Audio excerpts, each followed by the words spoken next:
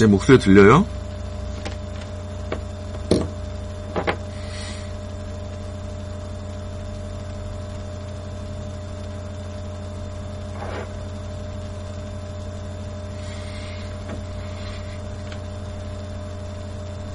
자, 그, 자기 이름, 그, 주 A인지 주 B인지, 어, 이렇게 해서 자기 이름을 바꿔주기 바랍니다.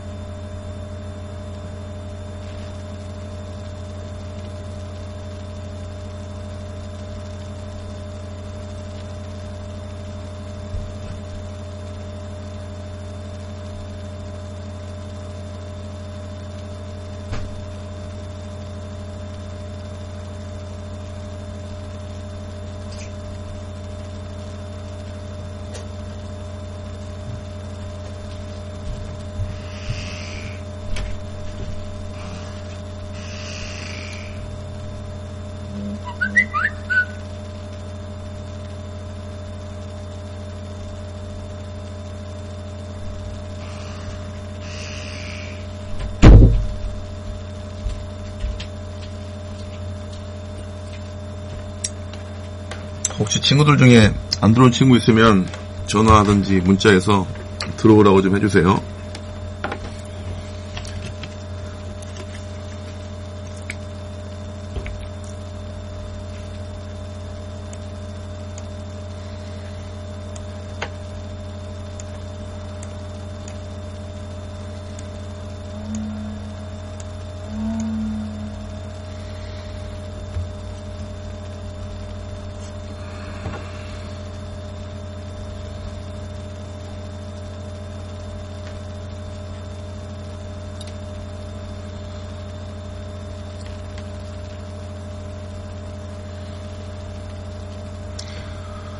마이크 테스트 갑니다. 음, 뭐, 이 정도면 강의는 큰 문제 없나요? 어때요?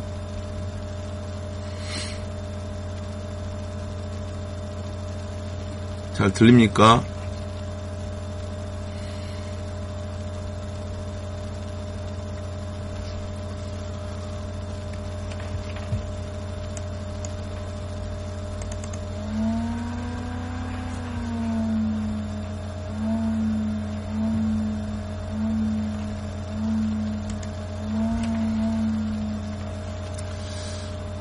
오케이. 지금 여기는 보니까 눈 오지 않네. 혹시 눈 오는 데 있어요, 지금? 자기 있는데?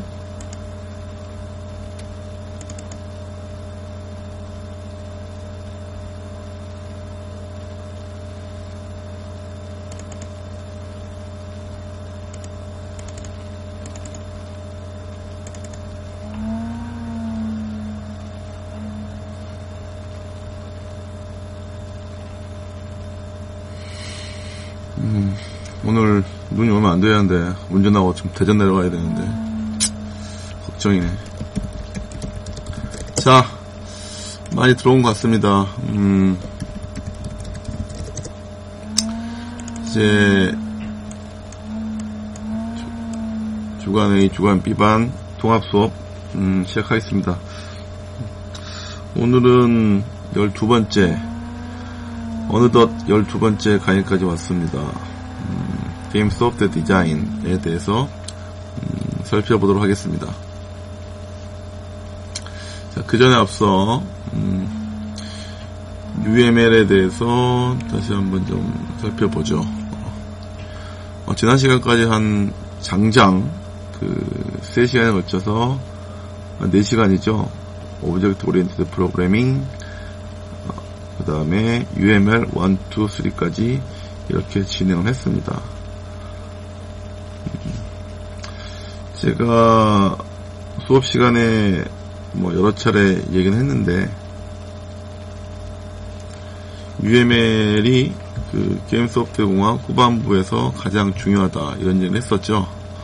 어, 그만큼 음, 객체 지향 방식으로 설계를 하고 UML 이해하는 것이 음, 중요하기 때문에 어, 제가 그 얘기했고 그 다음에 계속해서 강조를 좀 해서 어, 진행을 했습니다.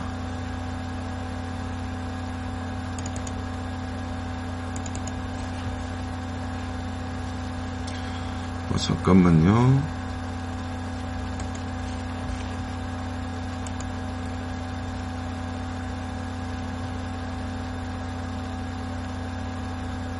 오케이.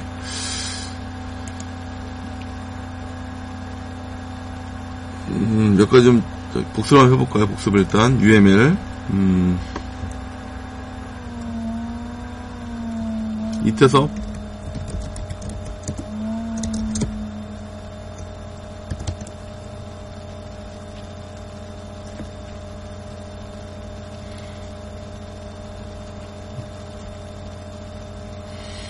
UML의 UML 다이그램의 아홉 가지 종류는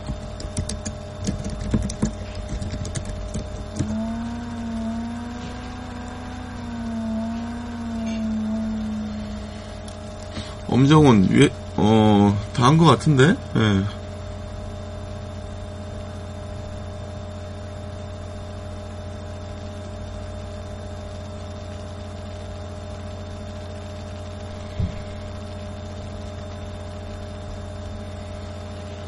밑에서 UML의 다그램 아홉 가지 종류는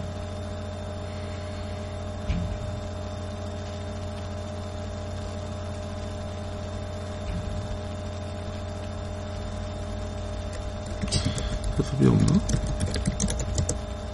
이태섭 없나?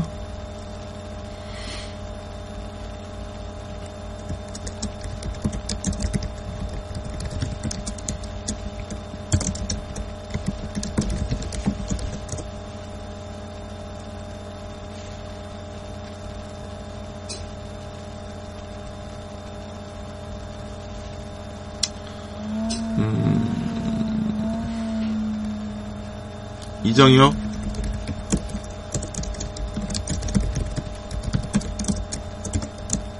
UML 다이그램 9가지 종류는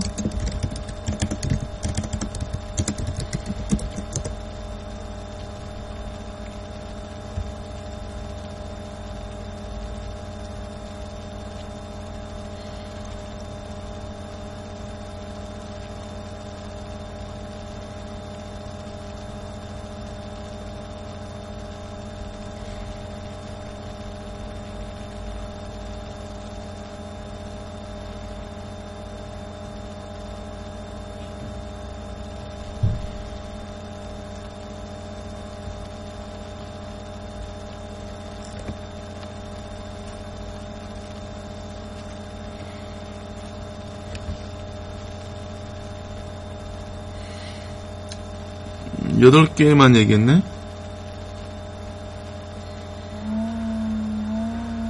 오케이, 좋아요. 자, 그러면, 김지혜.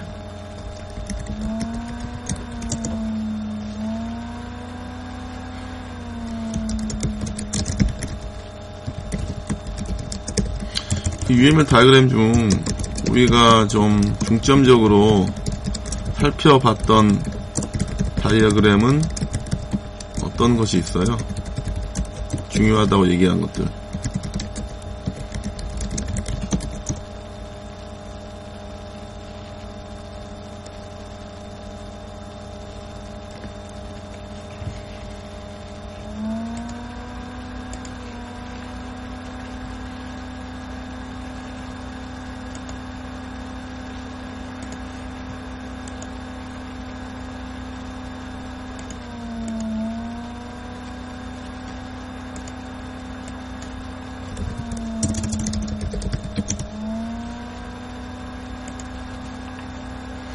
또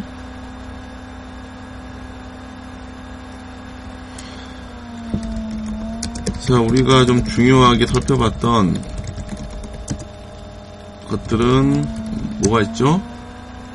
가장 중요한 게 클래스 다이그램 그렇죠. 그 다음에 어, 시퀀스 다이그램 그렇죠. 그 다음에 use case diagram 그리고 state chart diagram 여기에 communication diagram 또는 collaboration까지 포함해서 네, 4개 또는 5개를 어, 굉장히 중요하게 배웠습니다. 실제로 어, 우리가 실습으로 그려봤던 것들은 class diagram, sequence diagram까지 그려봤죠.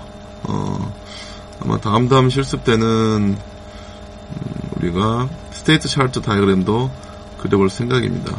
뭐 use case diagram은 그 전에 그려봤죠.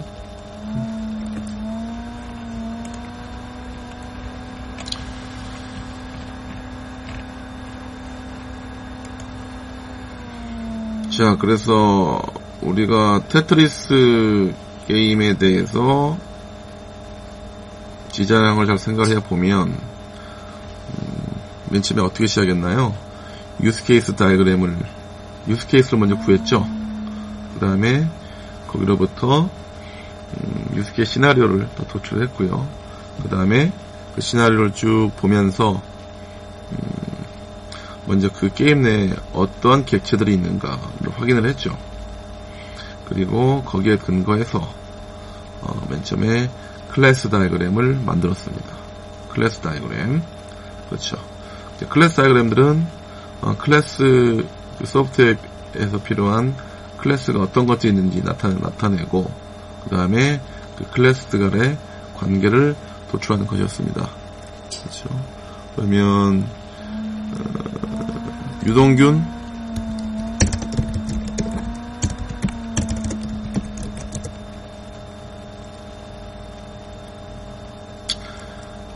자 클래스 다이그램에서 우리가 그려야 할 클래스 사이의 관계들이 있죠 그 클래스 사이의 4대 관계 4대 관계는 어떤 것이 있나요?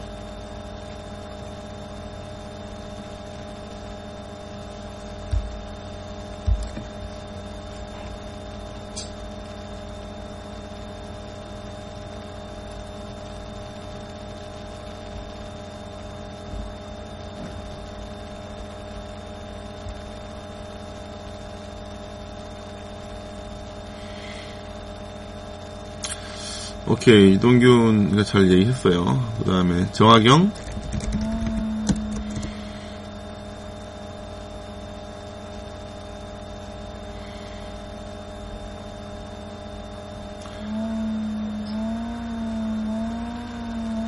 클래스하고 클래스 사이의 관계는 아니지만은 클래스 다이그램에서 그려줘야 될 또 하나의 선이 있죠. 흔히 이제 점선의 화살표로 나타내는데 어, 떤 관계가 또 하나 있나요?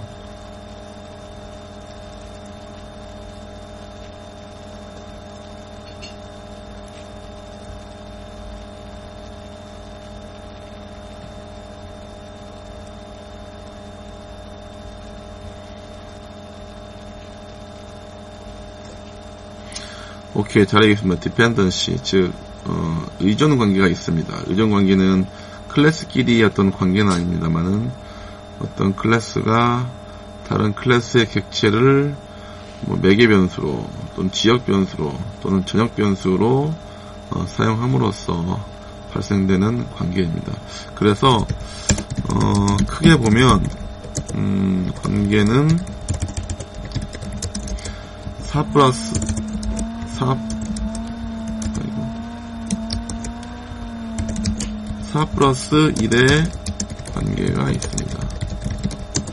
자, 이렇게, 어, 클래스 다이그램이 다 만들어지면, 어, 여기에 근거해서 우리가, 음, 시퀀스 다이그램을 그리게 되죠.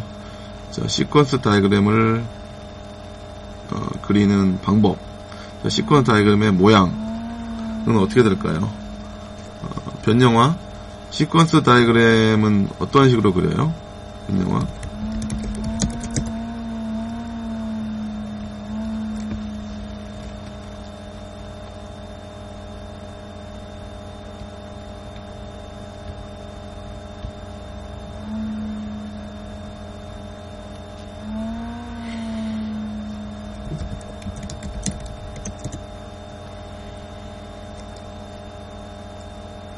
변형화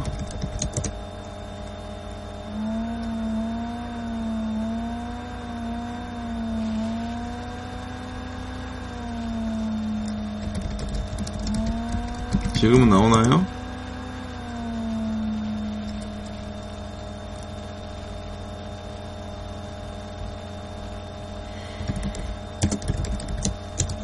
변영화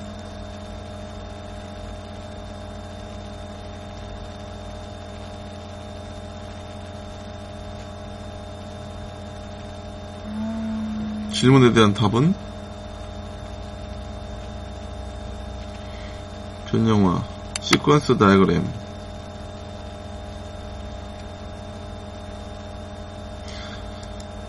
자 sequence diagram들은 오른쪽으로 오른쪽 축으로 쭉 오른쪽으로 쭉 가면서 object를 그리고 밑으로 가면서 timeline을 그리죠. 그 다음에 object들끼리 음, 왔다 갔다 하는 그런 이제 interaction을 어, 그려주면 되겠습니다. 그리고 이제 communication collaboration diagram도 우리가 좀 살펴봤고요. 어, 그래서 음, 질문 한번 해봅시다. 그러면 황수민 시퀀스 다이그램하고 커뮤니케이션 다이그램의 차이점은 뭘까요?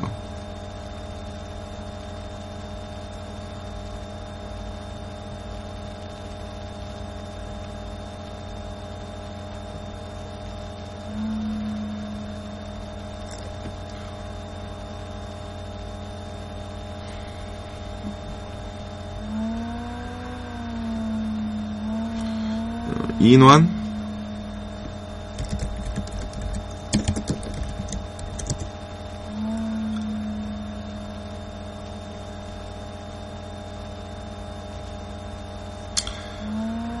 두 개 차이점은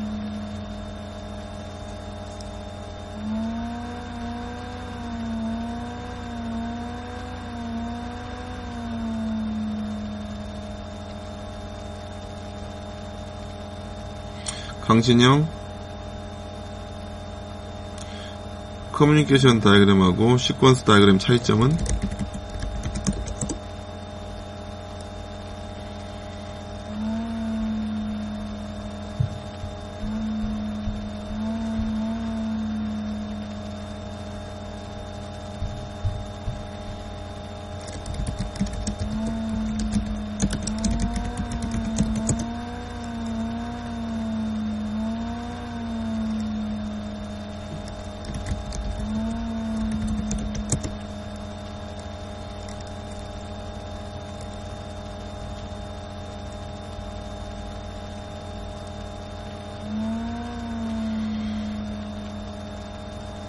김영현 커뮤니케이션 다이그램하고 시퀀스 다이그램 차이점은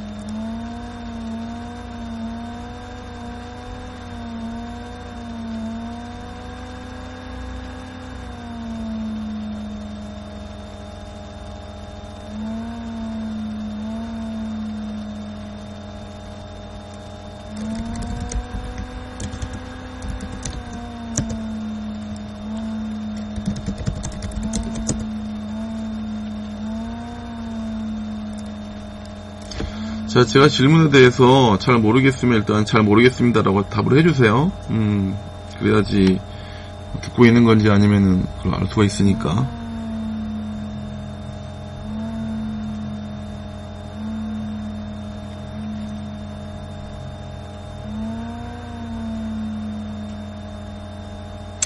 오케이, 김대현 아주 대답 잘했습니다. 음.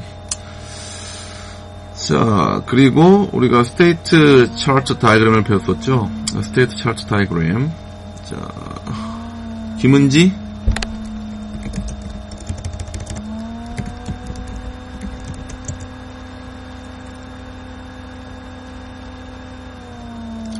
어, state diagram은 어떤 diagram이에요?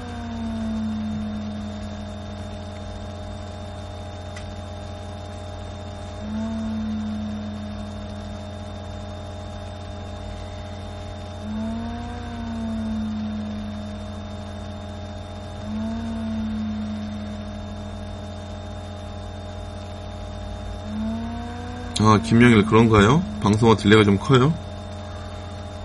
음, 지금 다 한 번씩 타이핑 해볼래요, 혹시? 아무거나? 네, 하고.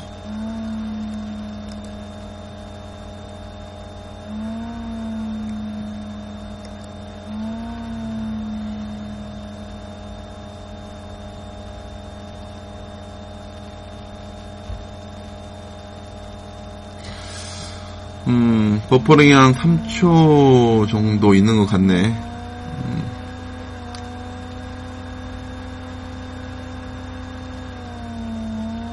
자, 상태 다이그램들은, 음, 객체들이 가지고 있는, 어, 상태를 나열하고, 그 상태들 간의, 어, 상태 전이 되는 그 과정을 어, 표시한 다이그램이 되겠습니다. 그래서, 어, 인공지능과 같이 어떤 객체의 어떤 행위를 모델링할 때 많이 어, 사용되는 그런 다이그램이 되겠습니다. 자, 그렇게 해서 우리가 크게 보면 이제 네 가지 또는 다섯 가지 종류의 그 UML 다이그램들을 다 살펴봤죠. 어, 여러분께서 UML 다이그램을 어, 봤을 때 그 내용을 이해할 수 있어야 되고, 그 다음에 그 내용을 근거로 코딩을 할 수 있어야 되고요. 그리고 여러분한테 소프트웨어 설계 숙제가 주어지면 어, 거기에 근거해서 UML 다이그램을 그릴 수도 있어야 됩니다. 자, 간단하게 좀 복습을 좀 마치고요. 오늘 그 본격적으로 메인 강의에 들어가도록 시작하겠습니다. 다들 네 한번 하고 하겠습니다.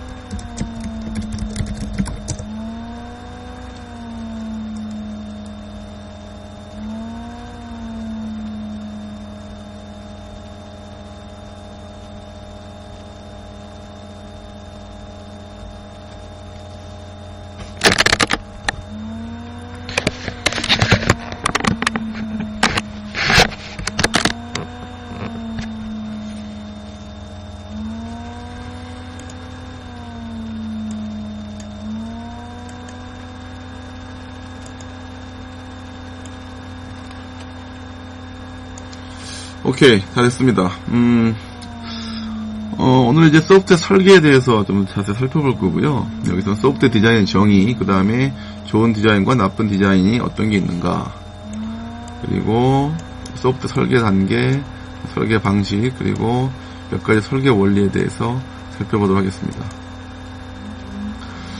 자, 소프트웨어 디자인. 소프트웨어 디자인은, 어, 정의가 되어 있죠. 자, 소프트웨어의 요구사항을 만족하는 솔루션을 도출하는 것이다. 되어 있죠. 자, 음, 일반적으로 이제 여러분이 그 소프트 요구사항을 하게 되면은 어떤 기능적인 요구사항에 대해서 생각할 수가 있는데요. 그거 외에도 반드시 비기능적인 요구사항에 대한 것도 충분히 잘 어, 뽑아낼 수 있어야 됩니다. 그리고 어, 좋은 품질을 내려는 어떤 일반적인 그 이론에 충실해야 되고요. 그 다음에 어, 이러한 이제 소프트 디자인 과정은 어, 시스템의 기능의 요구사항을 구현할 방법을 잘 찾고 어, 나타내기 위한 문제 해결의 과정이 되겠습니다. 자 그러면 우리가 이제 흔히 말하는 좋은 디자인, good design, 음? good design은 어떤 걸 말하는 것일까요? 음, 여러분이 이제 게임 만들 때 음, 게임을 잘 만들었다. 그러니까 어, 거기에 크게 보면 두 가지가 있을 것 같습니다. 한 가지는, 음, 게임 자체가 굉장히 재밌고 알차다. 즉, 게임의 어떤 게임으로서의 성격을 말할 수가 있고요. 또 하나 두 번째는 소프트웨어적으로 어, 게임이 잘 만들어졌다. 이렇게 할 수가 있겠는데요. 음, 여기서 제가 이제 말하는 good design에서 얘기하는 것들은 후자입니다. 즉, 소프트웨어적으로 게임이 잘 설계되고 잘 구현됐다. 어, 라는 의미에서의 음, good design이 되겠습니다. 그럼 어떤 디자인이 good design이냐? 먼저 필수적인 조건은 당연히 어, 원래 소프트웨어에 어떤 주어진 요구사항, 요구사항에 대해서 음, 요구사항을 잘 만족해야 되고요. 그 다음에 제약 조건 역시 기본적으로는 머스트 즉 이건 필수적인 사항이죠. 그렇죠. 어, 그러니까 좋은 설계는 일단 기본적으로 지하를 해야 된다는 거죠. 제약 조건을 만족하고 그 다음에 원래 기능적인 요구사항들은 다 해야 된다는 거죠.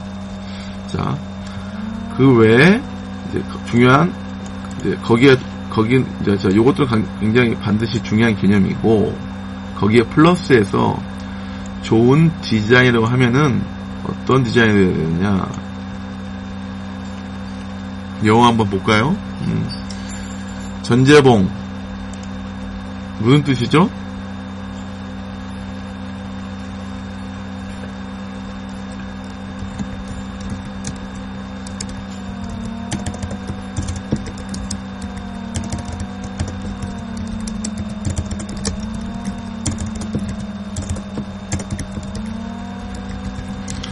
저는 모르면 모른다 대답을 해주세요. 그래야 다음으로 넘어갑니다.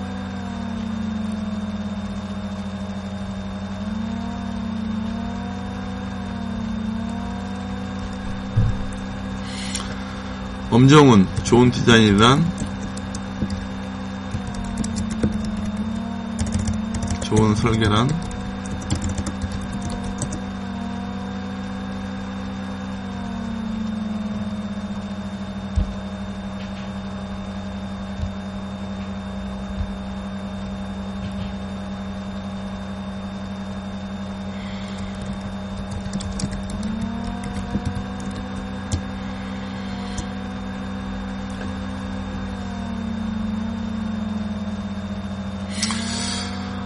오케이, 뭐, 저, 어, 어 정도, 어, 근접하게 이해했습니다. 그, 나와 있죠? 즉, 설계, 어떤 디자인이 좋은 설계냐, 음, 어떤 디자인이냐면, 어, 밸런스 trade off, 즉,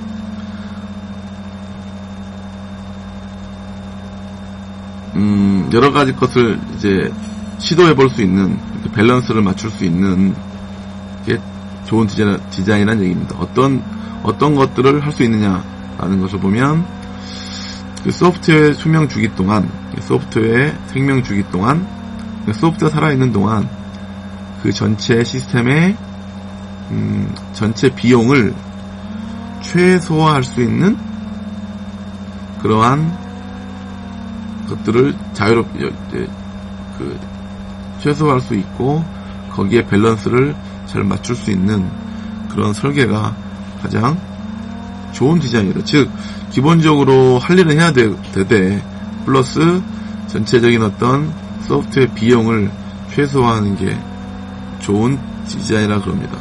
자, 그렇죠. 자, 여러분 이제 어떤 게임을 설계했습니다. 지난 시간에 걸쳐서 우리가 여러 가지 그 테트리스의 커뮤니케이션 다, 어, sequence diagram하고 그 다음에 class diagram 그리면서 한번 실제로 어, 테트리스라는 게임의 소프트를 설계해 봤죠. 음, 여러분이 뭐 앞에 칠판에 나와서 좀 다 풀어봤지만 그런 종류가 굉장히 다양하게 많이 있습니다. 그렇죠. 여러 개의 소프트의 선택 그 설계 선택 사항도 있었습니다. 다 물론 기능은 할 수가 있습니다. 그런데 여러분이 그 설계 내용을 봤을 때 어떤 경우는 잘 이해가 되는 경우도 있고 어떤 경우는 너무 복잡한 경우도 있고요. 등등 여러 가지 선택의 choice가 많죠. 즉 원래 테트리스의 기능은 다 수행을 하지만 그 전체적인 아키텍처를 봤을 때 너무 복잡하거나 또는 나중에 새로운 요소가 추가되기 어렵거나 어, 또는 다른 사람들이 이해하기 어렵다. 그러면 이것들은 어떻게 했어요? 비용이 높, 돈, 이런, 이런 것들은 비용이 높겠죠. 어떤 비용이 그것들을 다시 뭐 구현하고 분석하고 하는 비용들이 높을 겁니다. 그래서 그런 관점에서 어, 디자인, 좋은 디자인이라는 것들 살펴봐야 되는 거죠. 음, 소프트웨어 공학에서 소프트 설계에 있어서 여러 가지 비용이 많이 들죠. 어, 분석하는 비용, 설계하는 비용, 프로그램하는 비용, 데이터를 수집하는 비용, 테스트와 디버깅하는 비용, 다음에 설치하는 비용, 다음에 변환 비용, 사용자들을 트레이닝하는 비용, 하드웨어 비용, 운영하는 비용, 그 다음에 유지 보수하는 비용, 즉 이런 여러 가지 비용들이 있습니다. 이런 비용들을 최소화할 수 있는 설계가 좋은 설계다라는 것이 되겠습니다.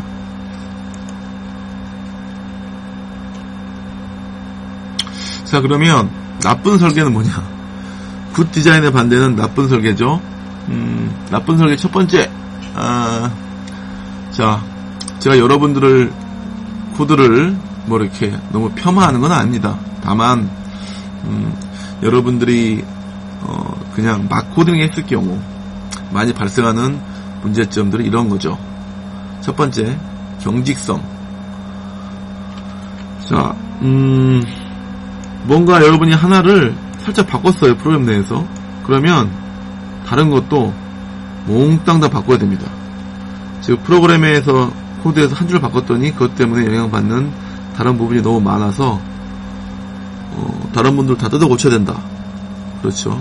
그러면 어, 난감할 수밖에 없죠. 음, 여러분 졸업작품 프로젝트 만들 때 굉장히 주의를 해야 됩니다. 즉 너무 맨 처음부터 음, 복잡하게 그리고 이렇게 부서 경직되게 경직되게 만들면 교수님들이 뭔가 어 이건 이렇게 이렇게 바꿔야 된다라고 코멘트를 했을 때 잘못하면은 코드 전체를 뜯어 고치는 그런 불상사가 있을 수가 있습니다. 호진 잘 들고 듣고 있죠?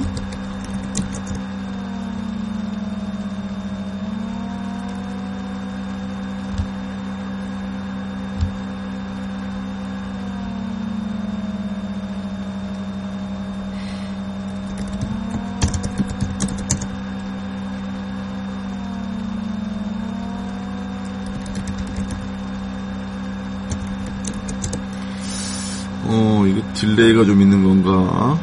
응? 딴 일을 하는 건지는 모르겠네.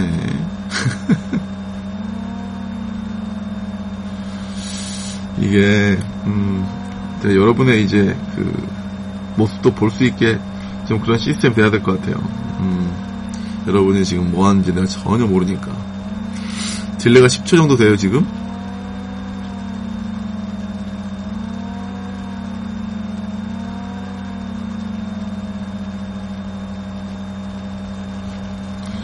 좀 느리긴 하네요. 그죠?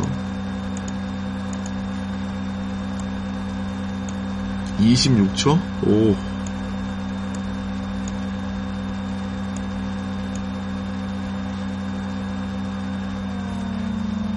자, 오케이, 알겠습니다. 자, 그 다음에, 어, 나쁜 디자인 설계 두 번째는, 음, 부서지기 쉽다는 거죠. 즉, 시스템에서 여 러분이 어떤 특정 부분을 바꾸는데 그러면 원래는 전혀 상관없을 것 같은 다른 부분이 실행을 멈춰버리는 겁니다. 그렇죠. 이런 경우 많이 있죠. 어디 뜯어 고쳤는데 그 원래 잘 작동하던 전혀 엉뚱한 다른 부분이 갑자기 멈추는 경우가 많습니다. 음, 부서지기 쉬운 거죠. 부동성 시스템을 여러 component로 분해해서 재사용이 힘들다. 음, 사실 재사용성을 고려한 이 설계는 굉장히 중요합니다. 근데 사실 이제 맨 처음부터 이러한 재사용성을 근거해서 만들기 쉽지 않죠. 음, 많은 경우 어, 재사용이 힘든 코드를 많이 만듭니다. 이런 것도 우리가 부동성이라고 얘기를 하죠.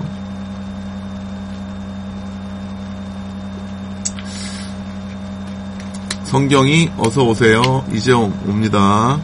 성경이는 지각인가?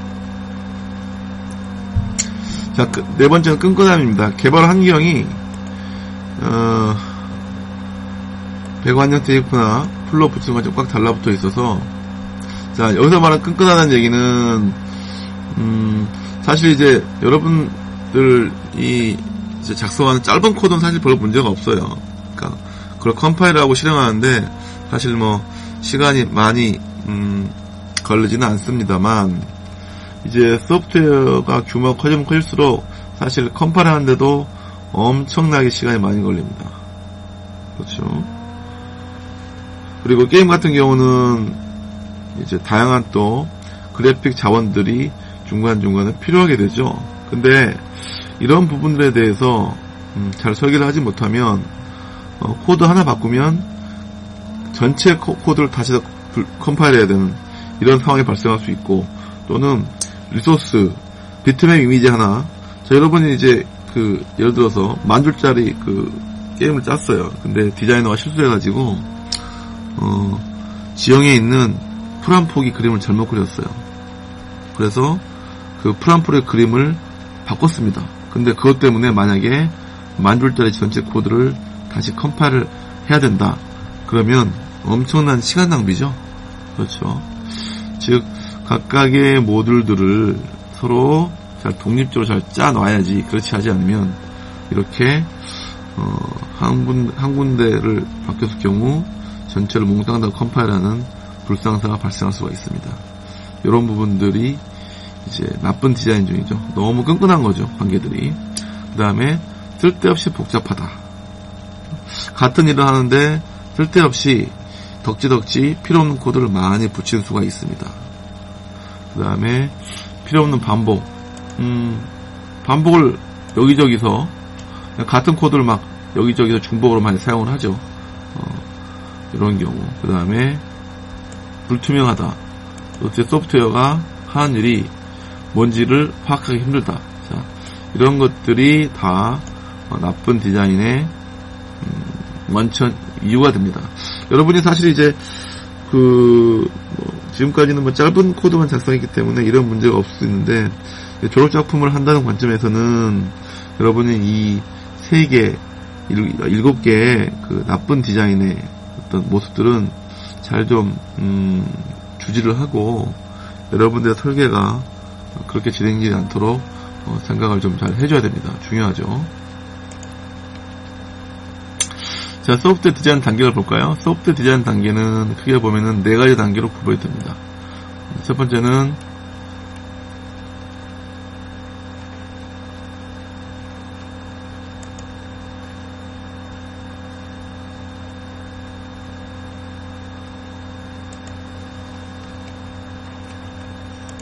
음, 첫 번째는 프로그램을 이해하는 단계죠. 어떤 문제인가.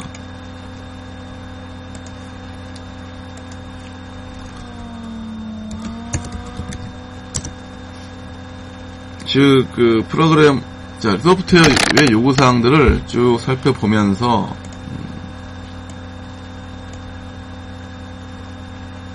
어떠한, 그러니까 여러 가지 각도로 살펴, 여러 가지 각도로 살펴보는 거죠. 문제를 여러 가지 각도로 살펴보면서 어, 상세하게 이해하는 겁니다. 사실 이제 음, 초기에 프로그램을 잘 살펴보는 어, 그 요구사항들을 잘 살펴보는 게 중요합니다.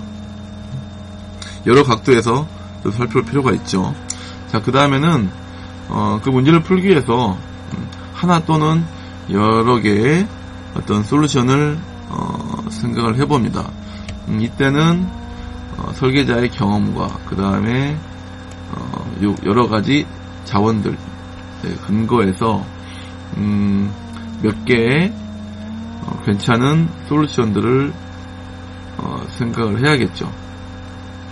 그렇죠. 자, 테트리스 게임을 만들 때 우리가 여러 가지 사실 고민을 해봤습니다. 어, 뭐 제가 뭐 제시한 것들이 뭐그 정답은 항상 아닙니다. 하지만은 어, game manager가 있어서 중간에서 각종의 어떤 음, input manager라든가 그 다음에 음, 블록체인 block generator 같은 것들을 컨트롤러 통제하는 식으로 어, 하는 부분이 괜찮겠다라고 생각을 했던 거죠. 자, 음, 이런 식으로 이제 한, 한두 개의 여러 가지 솔루션을 근거로 해서 음, 괜찮은 솔루션들을 찾아봅니다. 그 다음에 이러한 솔루션들에 대한 추상적인 어떤 표현을 해보는 거죠. 이때 어, 어떤 걸 사용하냐면 UML을 사용을 해야겠죠. 그 UML을 사용을 해서 여러분이 머릿속으로 또는 뭐 어, 손으로 또는 뭐 글로 어, 작성했던 그 소프트웨어 구조들을 한번 UML 이용해서 작성을 해보는 겁니다. 그렇죠. 어, 작성해보고 즉 어, 그럼으로써 전체적인 어떤 구조를 좀 잘 파악할 수가 있고 또 커뮤니케이션이라든가 시퀀스 다이어도 그려보면서 어떤 전체적인 행위도 파악할 수 있어지는 거죠. 자, 그 다음에 이제 이렇게 되면은 어, 각각의 만들어진 UML을 근거로 해서 실제로 어, 세부적인 어떤 디자인을 해 보면서 구현을 해 보면은 세부적인 내용들을 채워, 가면은 어, 전반적으로 전체적인 소프트웨어 설계를 완성할 수가 있습니다.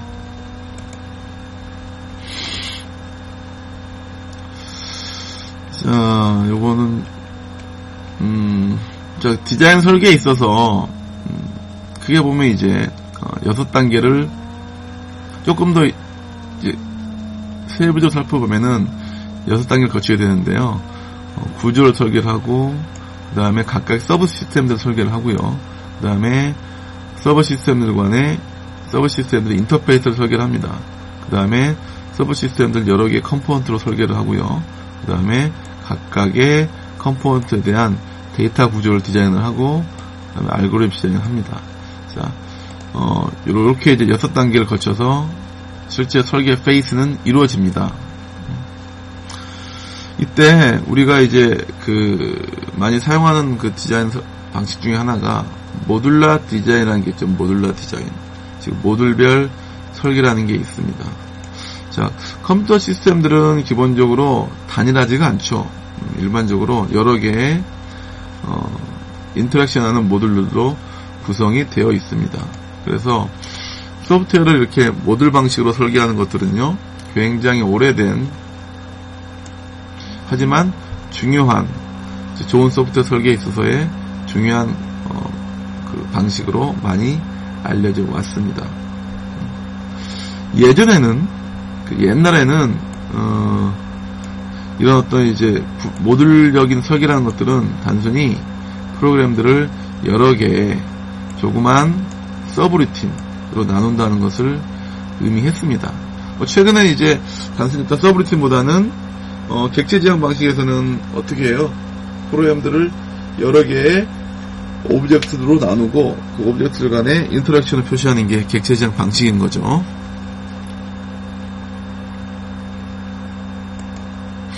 자, 뭐 어쨌든 이제 modular 설계 방식에 있어서의 어떤 시스템 디자인의 목적은 어떤 모듈이 있어야 되고 그리고 모듈이 뭘, 뭐고 그 다음에 그 모듈이 어떤 일을 해야 되고 그리고 그 모듈들이 어, 다른 모듈들과 어떤 식으로 일을 해야 되는지. 자 근데 보니까 음, 객체 지향 방식하고 뭐 별반 다르지가 않죠? 음, 어떤 객체 어떤 클래스들이 있는지 그리고 각, 그 각각의 객체들의 역할은 뭔지 그리고 각각의 객체들이 어떻게 interaction 하는지를 나타내는 방식이기 때문에 음, 모듈러 디자인도 객체 제한 방식도 모듈러 설계의 하나의 방식으로 볼 수 있겠습니다. 음, 여러분이 이제 전통적으로 그 C, C가 C와 같은 절차적인 프로그래밍에서 어떤 모듈러 설계는 바로 이런 프로시저럴 앱스트랙션을 많이 사용하게 됩니다. 즉, 어, 여러분이 해야 될 일들을 여러 개의 프로시저, 여러 개의 함수로 쪼개는 거죠. 음, 여기 이제 몇 가지 예가 나와 있죠. 메뉴를 그린다. 또는 사용자의 옵션을 가져온다. 즉, 프로그램을 여러 개의 함수로 쪼개서 그리고 그 각각의 함수들이 자기의 기능을 하게 하는, 즉, 전통적인 절차 지향 방식에서는 많이 사용했던 방식이 되겠습니다. 그리고 재밌는 뭐 어, 프로그램을 function으로 보는 경우도 있는데요. 이거는 뭐 오늘 skip하도록 하겠습니다. 자 설계에 있어서 어, 하향식 설계하고 bottom식 bottom-up 설계가 있습니다. 하향식 설계는 먼저 시스템의 최상위 부분 설계하고 다음에 하위 수준의 자세한 결정은 내리면서 점차적으로 discussion 하면서 세부적으로 어, 진행해 나가야 되는 방식이죠. 상향식 설계는 일반적으로 재사용이 가능한 여러 하위 수준의 어떤 모듈들을 만들고요. 어, 높은 수준의 구조를 만들기 위해서 이것들을 어떻게 할, 어떻게 배치할까를 결정하는 방식이 되겠습니다. 다들 좀 졸리죠? 어떤가요?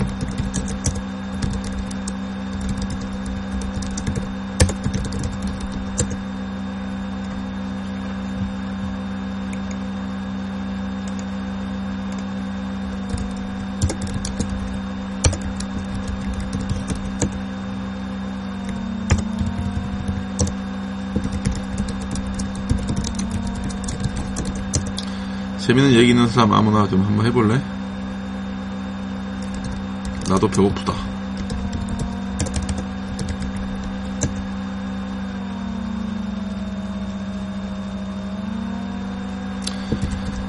재밌는 얘기.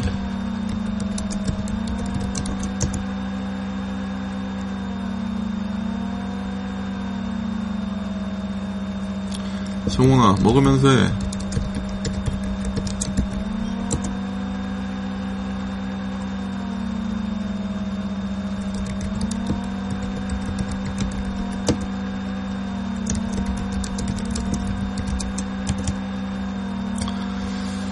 자, 또 진행을 해볼게요. 전부 한번 기지개 한번 씁시다. 기지개. 기지개 한번 타이핑하고 몸도 한번 좀 피세요.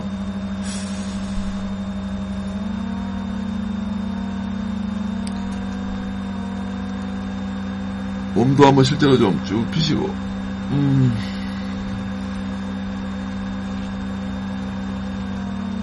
그렇지. 말로 기지개 하는 거지.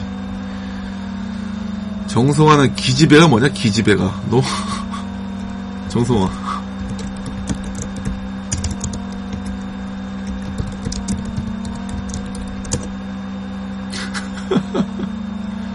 일부러 그르친 거지.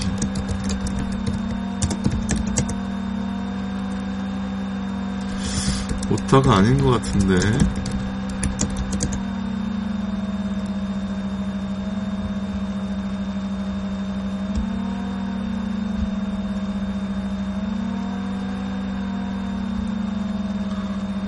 황중우 기지개 폈어? 황중우 어디 갔어?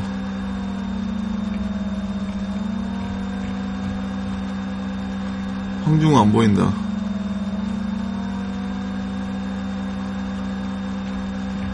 유동규는 있고 황중우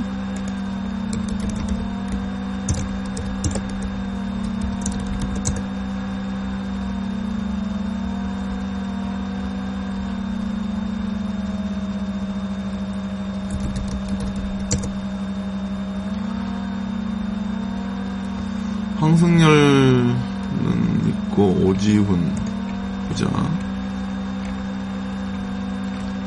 강명훈 강명훈 강명훈도 없네 강명훈 기지개.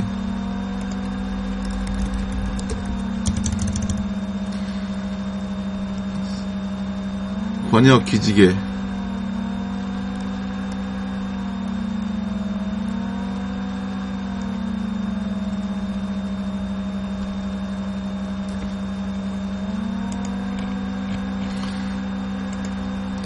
황중호는 탈락이야.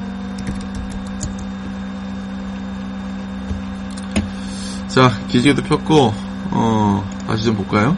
자, 혼용, 자, 그래서 하얀식 설계, 다음에 상향기 설계 모두 다 가능합니다.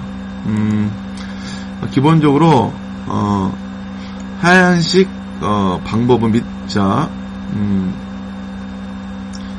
자, 일반적으로 설계할 때는, 음, 초기에 새로운 시스템을 설계할 때는 하향식 방법을 설계하는 게 좋습니다. 즉, 음, 새로운 시스템 설계할 때는 전체적으로 투명하게 그린 다음에, 어, 큰, 큰 그림 그린 다음에, 그 다음에 자세히 좀 살펴보는 게 좀 필요하고요. 어, 하지만 만약에 재사용이 가능한 그런 component들이 많다 그러면 상향식 방법도 어, 유용하게 사용할 수가 있겠죠. 네. 자, 그러면 객체 지향 설계 및 어, 분석 및 방법에 대해서 설계 살펴보겠습니다. 사실 이제 우리가 지난 4시간 동안 걸쳐 가지고 이 내용은 굉장히 많이 진행을 했습니다. 어, 지금 멈췄나요?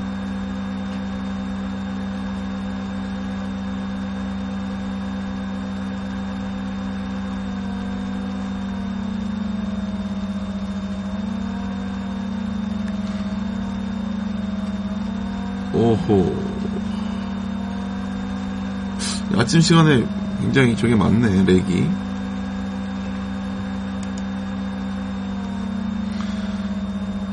지금 멈췄나요? 혹시 아니면 잘 나오나요?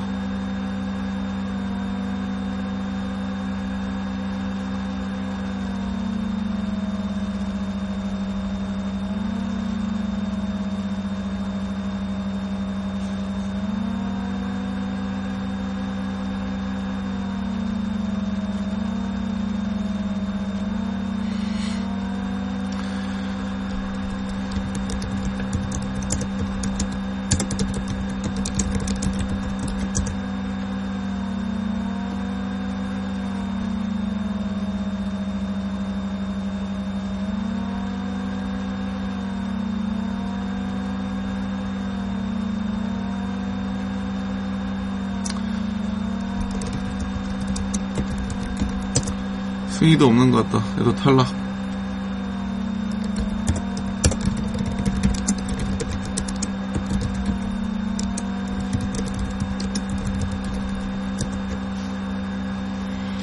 자, 객체지향 그 설계 방식에 대해서 좀 본격적으로 살펴보겠습니다. 음, 자, 김영민?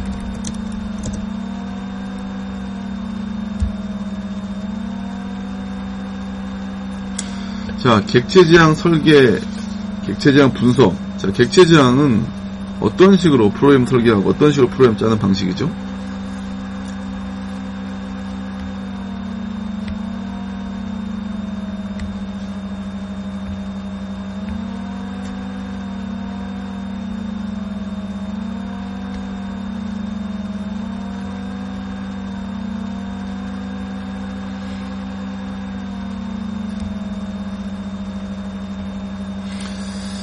오케이, 김영민, 어, 김영민 어느 정도 얘기한 것 같습니다. 음, 문담이?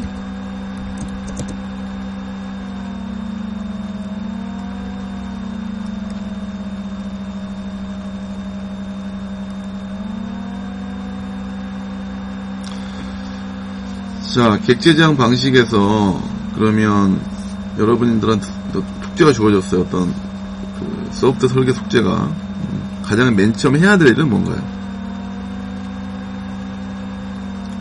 객체지향 방식의 설계에 있어서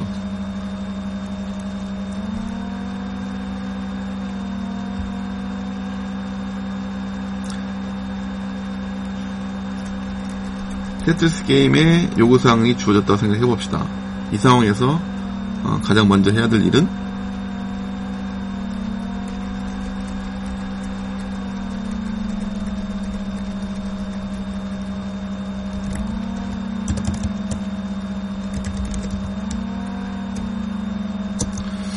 오케이. 어, 문담이 잘 얘기했습니다. 근데 클래스를 정할 때 어떻게 해야 될까요? 실제로 그 소프트웨어에 있는, 있는 객체들이 어떤 것이 있는지를 잘 파악을 해야겠죠. 그 다음에 그 객체들을 찍어내는 클래스를 만들어주는 겁니다. 자, 여기 보시죠. 어, 객체 지향 설계에 있어서는 어디에 중점이 있느냐. 소프트웨어 오브젝트를 파악을 하고 그 다음에 그것들이 어떤 식으로 요구사항을 만족하기 위해서 협력을 하는지를 파악하는데 중점이 있는 겁니다. 즉, 여기 굉장히 중요한 내용이 나옵니다. 여기 세 줄인 게 중요하죠. 첫 번째, the system is viewed as the as a collection of interacting objects. 김규정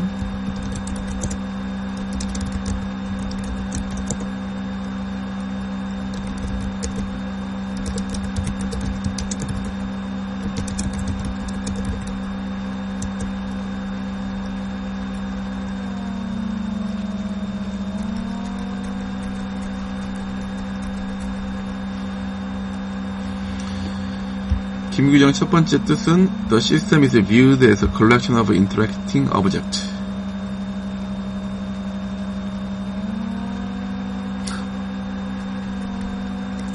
이근성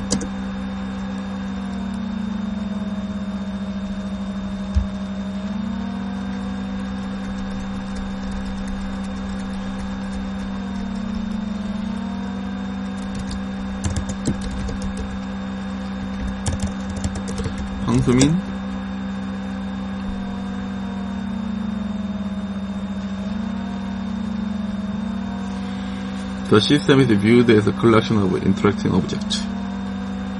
뭔 뜻이죠?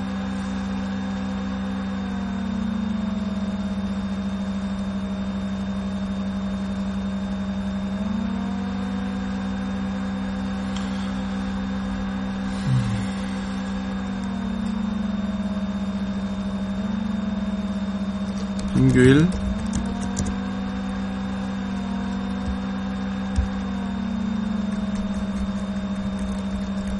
The system is viewed as a collection of interacting objects.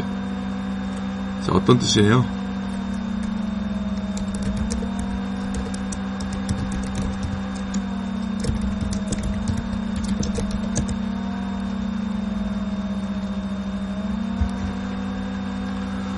자, 뭐 너무 어렵게 생각할 필요 없습니다. 즉 시스템, 소프트 시스템들은 어, 떻게 해석이 돼야 된다?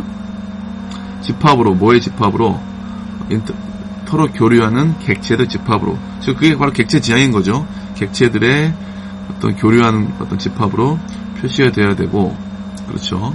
그 다음에 시스템의 상태는 음, 자 중요한 게 있습니다. decentralized and each of managed on state. 자, 시스템의 상태라는 것들은 객체별로 다 이렇게 좀 분산되어 있고, 그 다음에 각각의 객체는 자기가 나름대로 상태를 관리한다라는 것이죠. 어, 지난 시간에 상태 다이그램 배웠습니다. 상태 다이그램들은 객체가 가지고 있는 상태를 나타내고 그 객체의 상태가 어떻게 변하는지를 보여주는 거죠. 음? 그래서 이런 관점에서의 어떤 객체 지향 방식의 설계가 되겠습니다. 자, 그리고 객체는 인스턴스다. 어, 클래스에. 그렇죠. 그 다음에, 음, 메소드를 서로 교환하면서, 어, 인터랙션하는, 어, 대상이다라는 것이 되겠죠. 자, 이렇게 해서 여러분이 객체 지향 그 프로그램 단계에서 또는 객체 지향 프로그램의 구현에서는 음? 이렇게, 만든 객체들이 구현이 되게 되는 거죠. 자, 다시 정리합니다. 객체 지향 설계, 설계 및 분석은 어, 시스템들을 여러 개의 어, interaction하는 object로 나타내고 그 다음에 그 각각의 object들 간의 어떤 interaction을 잘 나타내는 것이고 그 다음에 각각의 object는 각각의 상태가 있죠. 그 각각의 object가 그 상태 어, 어떤 식으로 상태가 바뀌는지 이런 것들을 어, 설계한 이런 방식으로 시스템을 설계하는 방식을 말합니다. 자, 그래서 우리가 지난 시간에 어, 테트리스 가지고 계속해서 좀 진행을 했었죠. 테트리스 가지고 맨 처음에 어떻게 했나요? 어, 유스 케이스를 만들었었죠.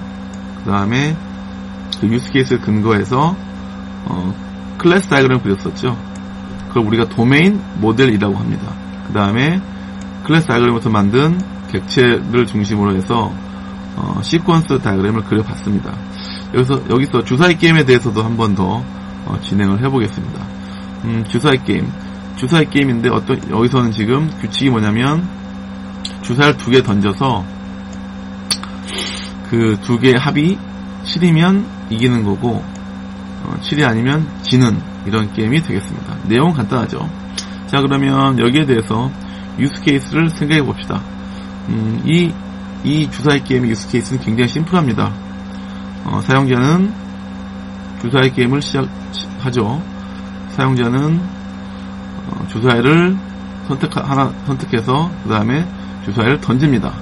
그렇죠. 그 다음에 주사위가 그 앞에 주사위면 합, 친 값이 7이면 이기는 거고 어, 아니면 지는 어떤 이런 구조가 되겠습니다. 심플하죠. 자 그러면 여기에 class를 한번 찾아볼까요? class diagram 한번 그려봅시다. 음. 김은지 이 주사위 게임에서 클래스는 뭐가 있을까?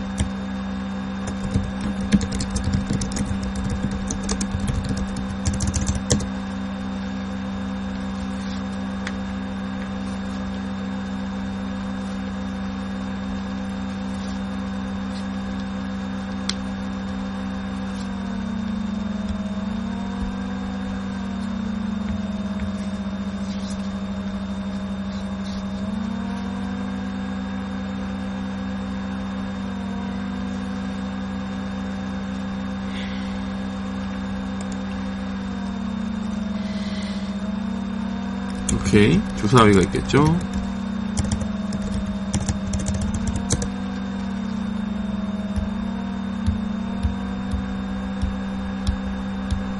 예, 주사위, 플레이어, 뭐 이렇게 있을 수가 있습니다.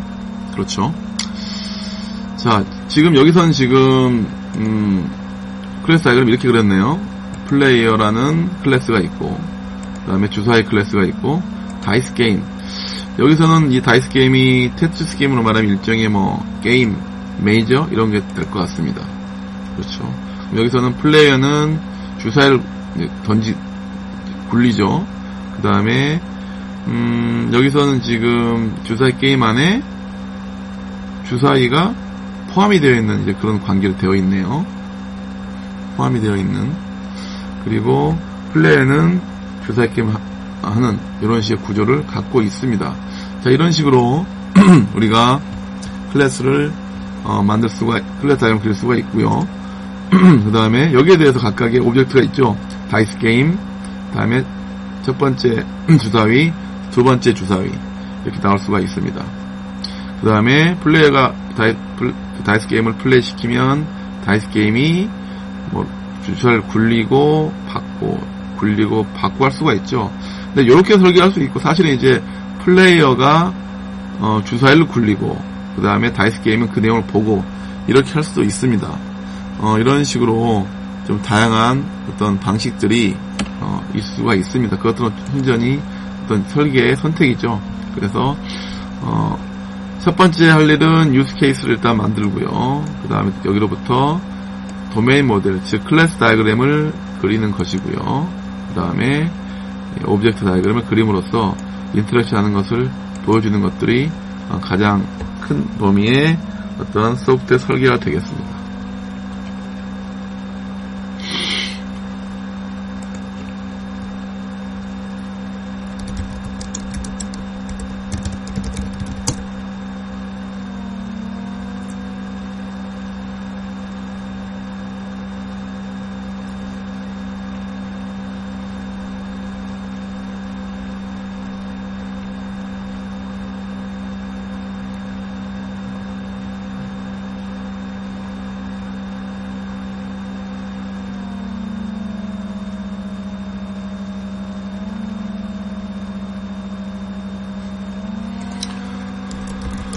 황중호 양승이는 여전히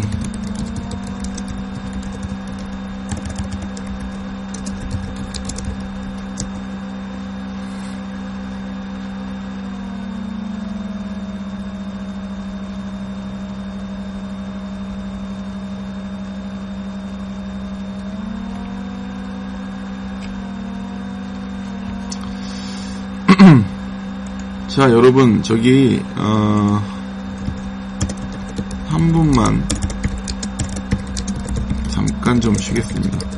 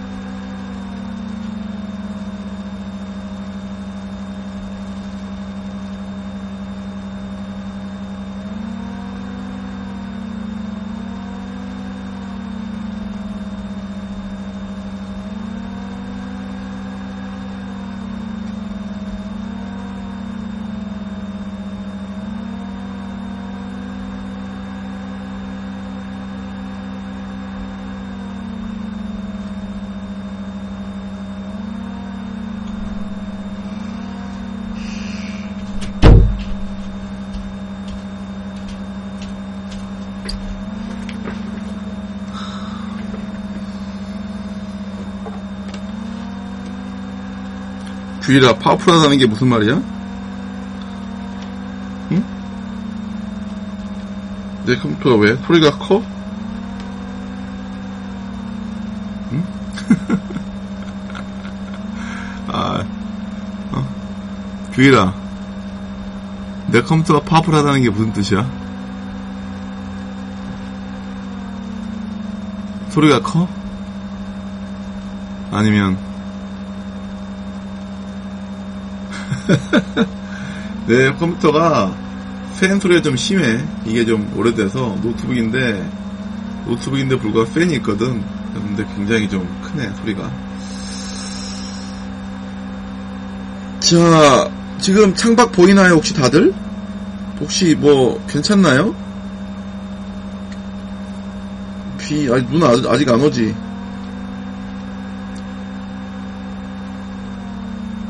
음, 윙윙거리는 소리 좀 많이 나지. 내 지금 PC가 소리가 좀 심해. 자, 다들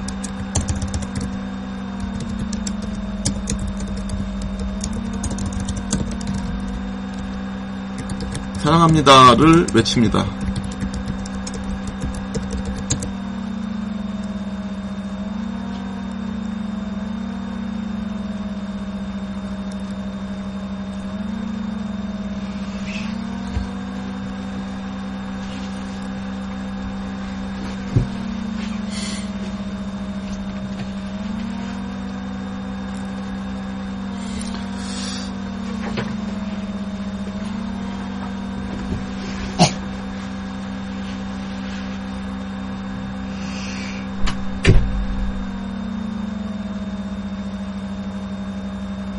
황중우 너 어디 갔다 이제 나와? 씨. 계속 답 없더니 어? 자, 마저 시작, 시작하겠습니다. 자, 어, 후반부에서는, 자, 여러분이 이제 객체 지향 방식으로 설계를 하는데, 음, 설계할 때 있어서 몇 가지 좀, 어, 알아두면 좋을 그런 규칙 또는 그런 원칙들이 있습니다. 음, 먼저, 음, 첫 번째 원칙인, 어, SRP라는 것이 있는데요. 이거는 The Single Responsibility Principle이 되겠습니다. 자, 어, 우리말로 번역하자면 단일 책임의 원칙이 되겠습니다. 단일 책임의 원칙. 자, 이 원칙이 말하는 것은 이런 거죠. 음, 시스템에 어, 있는 소프트웨어 상에 있는 객체들은 음, 자 객체들 역할은 뭔가요? 뭔가 일을 하는 거죠. 그런데 그 일을 일을 함에 있어 그 객체가 맡은 책임은 하나다라는 것입니다. 그 객체는 하나의 책임을 완수하는데 집중을 시키는 것이 좋다라는 뜻이 되겠습니다. 조금 쉽게 말하면은 어, 하나의 객체한테 어? 일도 시키고 절도 시키고 하지 말라는 거죠. 음, 자 여러분은 학생이죠. 그렇죠. 학생이죠. 학생의 본분은 공부를 해야 되는 겁니다. 근데 물론 이제 뭐 연애도 하고 또 경우에 따라서는 뭐 사업도 하고 등등 많이 하겠습니다만은 어, 학생 입장에서는 공부하는 게 본인의 책임입니다. 그 외에 다른 것들을 하게 되면 어, 복잡해진다는 거죠. 자 여기 이제 음, 오토모바일 즉 자동차란 클래스가 있습니다. 음, 이 자동차를 보니까 start, stop, change tire, drive, wash, check oil, get oil 등의 어, operation들이 있죠. 자, 이 operation들은 이 자동차가 해야 될 일들이죠. 자, 근데 보니까 어떤가요? 어, 좀 살펴보니까 음, 조금 이 자동차 일이 좀 많은 것 같아요. 그렇죠. 따라서 이런 경우는 요렇게 나누어 주는 것이 좋다는 것이죠. 즉, 음, 어떻게 나왔나요, 여기서는? automobile이라는 객체는 start, stop, get이라는 행위만 하고 있고 그 외에 어, 자동차를 닦는다거나 자동차를 운전하는 거나 또는 자동차의 오일을 확인하는 등의 일들은 사실은 엄밀히 말하면 자동차가 한 일은 아니죠. 그렇죠. 누가 한 일인가? 자동차 닦는 일은 카와시라는 누구예요? 세차원이 하는 일이죠. 그렇죠. 자동차 운전하는 것들은 운전사가 하는 일입니다. 그 다음에 오일을 점검한다거나 그 다음에 타이를 가는 것들은 자동차 수리공이 하는 일입니다. 얘들이 이 자동차를 사용하는 방식으로 좀 바꾸어지는 게 좋다는 거죠. 그럼 이렇게 되면 자동차는 자기가 운, 어, 시작하고 멈추고 그 다음에 경우에 따라서는 기름을 주입받고 이런 것들은 자동차의 일이죠. 그 외에 어, 세차라든가 운전이라든가 오일 점검, 차를 바꾸는 일은 실제로 그 일을 하는 다른 사람한테 맡겨주는 겁니다. 어. 자 이렇게 되면은 각각의 객체가 하는 일이 굉장히 명확해졌죠. 자 앞에서 설계한 오토모바일 자동차의 설, 이 것보다는 훨씬 각각의 객체가 맡은 일을 잘 표현하고 있음을 볼 수가 있습니다. 이렇게 여러분들이 흔히 굉장히 많이 보면 실수예요. 하나의 클래스를 만들고 거기다가 모든 걸 다 때려 박는 거죠. 어? 그렇게 되면은 그 클래스가 다 해야 될 책임 자체가 여러 개로 분산이 되는 거죠. 자, 책임이 많아지면 어때요? 책임이 많아지면 그 모든 책임을 다 수행하기가 어려워지죠. 그런 사람도 마찬가지예요. 자기가 맡은 책임이 많으면 너무 많아지면은 그 각각의 책임을 다 제대로 못할 경우가 굉장히 많습니다.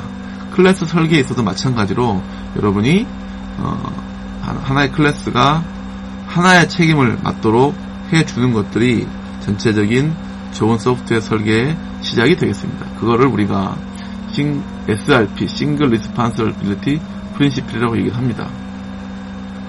자, 그 다음에 어, 두 번째로 어, 중요한 원칙이 Open Closed Principle이라는 게 있습니다. OCP. 자, 여기 설명 이렇게 되어 있죠. 소프트웨어는 클래스나든가 모듈 함수 이런, 이런 것들은 확장에 대해서는 개방되어야 되지만 변경에 대해서는 폐쇄돼야 된다. 자, 말이 좀 어렵네요. 좀 쉽게 설명하면 이런 겁니다. 자, 확장에 대해서 개방된다는 얘기는 그 소프트웨어 클래스는 쉽게 확장이 가능해야 된다. 이런 뜻이고요. 그 다음에 변경에 대해서는 폐쇄되어야 되는 얘기는 그 소프트웨어를 변경하는 것들이 어려워야 된다. 이런 것이 되겠습니다. 자, 클래스를 예를 들어서 살펴보도록 하겠습니다. 여기 보면 employee란 class가 있고 그 다음에 employee DB 더 데이터베이스라는 인터페이스가 있습니다. 자 여기서는 인플로이 클래스는 인플로이 DB를 통해서 어, employee 정보를 갖고 오고 그 employee 정보를 쓰기도 하고요. 그다음 인플로이 DB라는 클래스는 외부에 있는 음?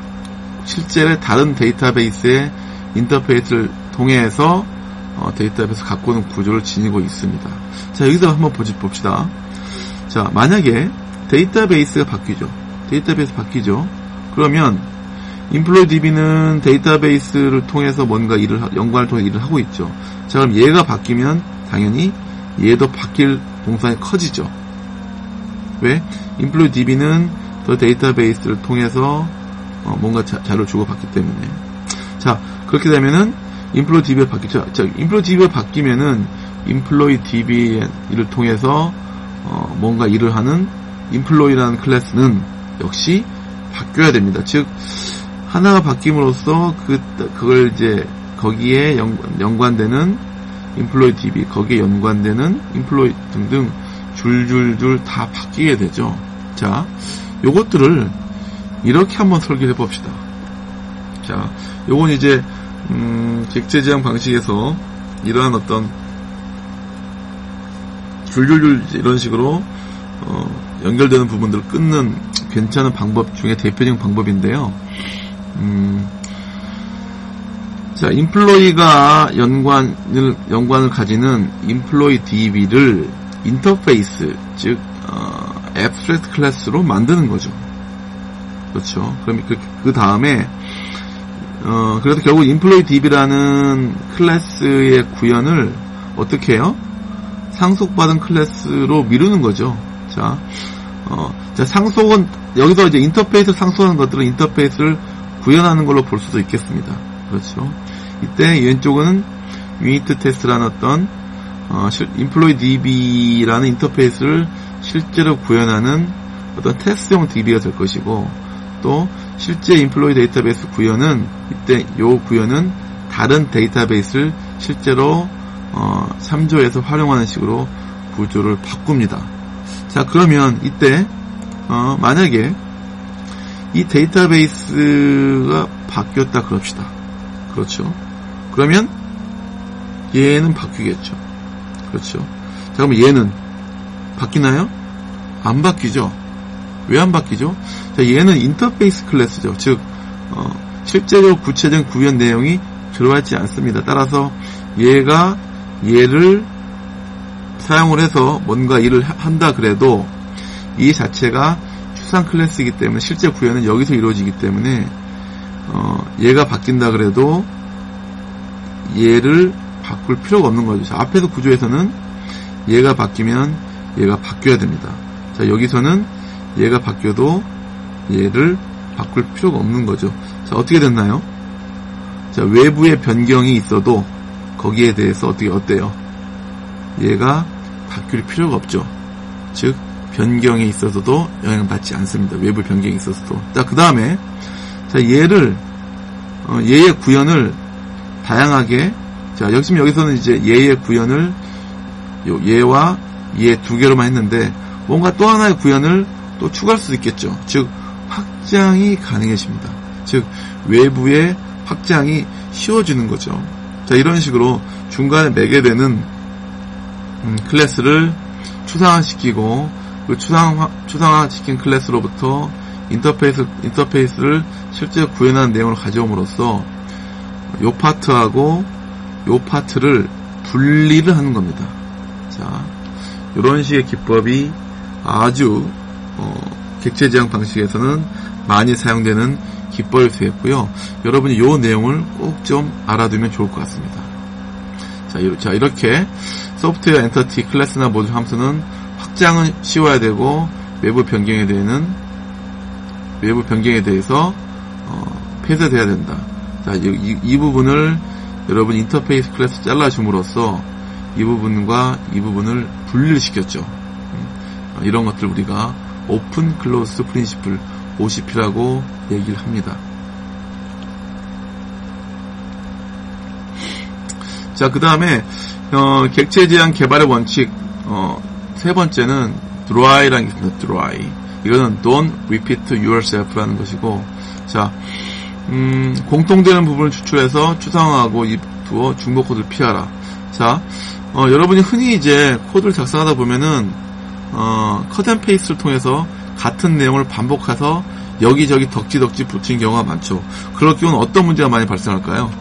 같은 코드를 그대로 덕지덕지 여러 군데 copy and paste로 어, 붙였을 경우 음,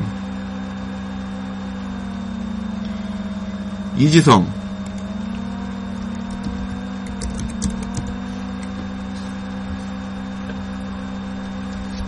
어떤 문제가 많이 발생할까?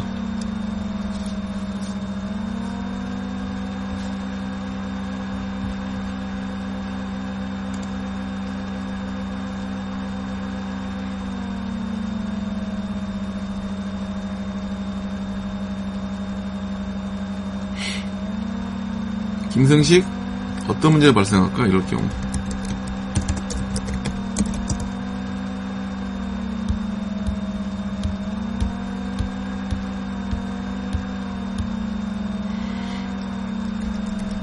중복적인 코드를 cut and paste로 여러 여러 코드 내에 막 삽입했을 경우 어떤 문제 가 발생할까? 그렇죠. 오케이. 중복 코드가 늘어나죠. 또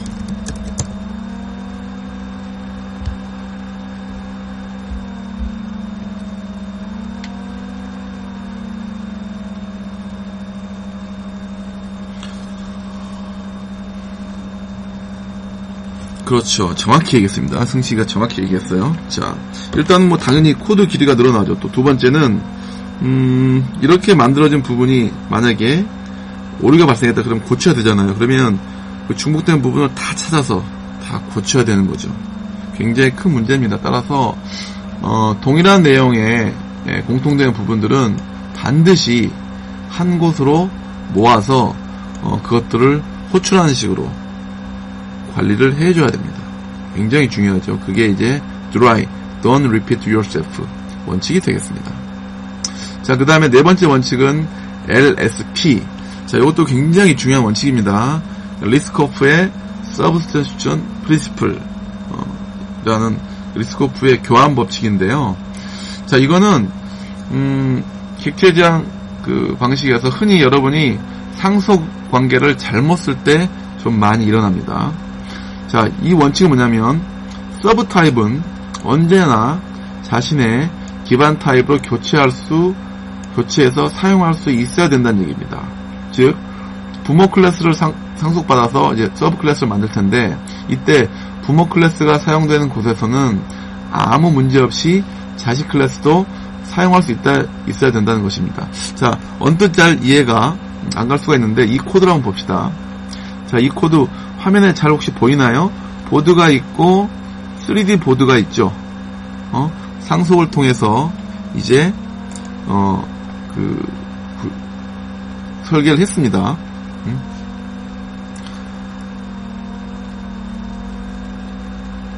더 월드가 뭐냐?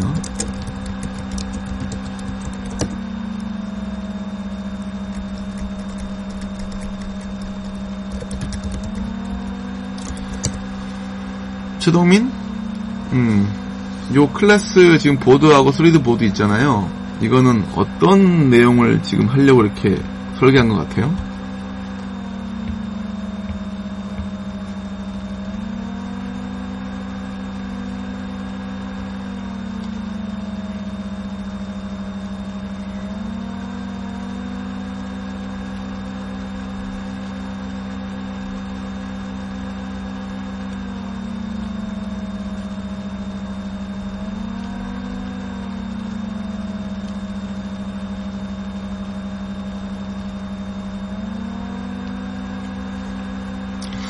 오케이 잘 얘기했습니다. 지금 이제 여기서 이 사람이 하고 요 이제 소프트웨어 설계한 사람의 입장에서는 일단 2차원의 보드를 설계하고 이거를 3차원으로 어 그렇죠 확대하기 위해서 음 3D 보드라는 걸 만들어서 한 거죠. 그래서 2차원적인 설계한 부분들을 차원을 추가해서 이렇게 각각의 동일한 어, operation들을 쭉 만든 겁니다. 그렇죠. 자, 이렇게 될 경우, 봅시다. 보드로, 보드하고 보드한 다음에 new 3D 보드. 자, 여기까지 말이 되죠. 자, 그 다음에 리스트에서 유닛 했는데 이때 보드에 get unit 한 다음에 8, 4를 했습니다. 자, 그러면 이게 어떤 문제가 지금 발생하나요?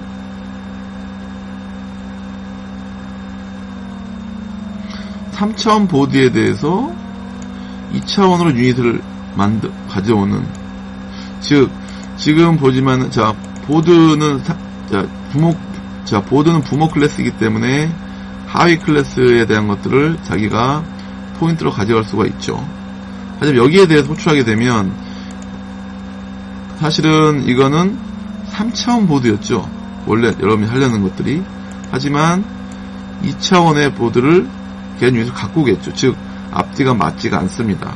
즉 부모 클래스 사용되는 곳에 자식 클래스가 그대로 사용이 돼야 되는데 어 그러고 있지를 못하는 거죠. 이거 이렇게 자 이렇게 흔히 설계할 수가 있는데 이건 완전히 잘못된 설계입니다. 그렇죠. 자 여러분이 흔히 상속을 많이 좀 잘못 생각하는 것 같아요. 자 이런 식으로 상속하게 되면은 이거는 굉장히 설계를 잘 못한 겁니다. 만약에 이런 식의 어떤 의도를 가지고 즉 어, 기존의 2차원 보드를 활용해서 3차원 보드를 만들겠다 그러면 이렇게 설계하지 말고 다음과 같이 설계를 해야 됩니다. 이런 걸 우리가 이제 위임이라고 얘기를 하는데 자 특정 일의 책임을 다른 클래스나 메소드에 맡기는 것입니다. 자 굉장히 중요한 부분입니다. 자 다른 클래스의 기능을 사용하지만 그 기능을 변경하고 싶지 않으면 어떻게 된다? 자, 이 부분 굉장히 중요합니다. 그 기능을 변경하고 싶지 않다면 상속 대신에 뭘 사용한다? 위임을 사용한다. 자, 위임이라는 얘기는 별게 아니에요. 그 위임이라는 얘기는 어, 위임하고자 하는 그 클래스를 연관을 통해서 갖고 있으면 됩니다. 자, 여기 봅시다. 자, 여기서는 클래스 3D 보드라는 것들을 그대로 설계를 했죠. 어떻게 했냐? 이 안에 보면 보드가 있고 2D 보드를 100개를 했네요. 그렇죠. 그 다음에 add 유닛이라는 함수에 대해서는 어떻게 했어요? 어, int xy 그 다음에 g축을 하나 더 둬가지고 마치 그 다음에 자 보드를 직접 어, g를 g, g를 중심으로 g 어, 하나의 배를 더 만들어서 함으로써 어, 특정 xy 위치에 또, 또, 또, z, 또 z 위치에 유닛을 더하는 즉 3차원식으로 유닛을 짤 수 있도록 했죠. 자, 이게 굉장히 중요합니다. 어떻게 했나요? 3D 보드는 보드를 보드랑을 통해서 3차원 보드를 구현을 했죠. 근데 2차원적인 부분들은 이 보드한테 일을 넘기는 겁니다. 그럼으로써 3D 보드는 자기가 하고자 하는 일, 즉 X, Y, G축의 어떤 유닛을 더하는 것들을 훌륭하게 수행을 했습니다. 이처럼 다른 클래스의 기능을 사용을 해야 되지만 그 기능을 그대로 유지하고 어, 유지하면서 어, 사용하려면 상속 대신에 이런 식으로 어, 위임 즉 클래스가 그 다른 클래스를 포함하고 어, 거기에 대해서 그 내용을 전달함으로써 해주는 방식으로 처리를 해야 됩니다. 자, 이거는 객체 지향 방식에서 굉장히 많이 사용되는 개념이 되겠습니다. 자, 그러면 자, 여러분께 간단히 한번 퀴즈를 내볼게요. 한, 한 5분만 생각해, 한 1분만 생각해 봅시다. 자, 칼이나 총 곤봉으로 공격할 수 있는 캐릭터가 있어요. 자, 이 캐릭터는 무기를 수집할 수 있고, 선택된 무기 중에서 자기가 원하는 무기를 사용해서 공격할 수 있다. 라는 이런 클래스를 만들어 봅시다. 자, 그러면 한번 생각해 봐요 클래스를 만들 때 어떻게 해야 될까요? 뭐, 캐릭터.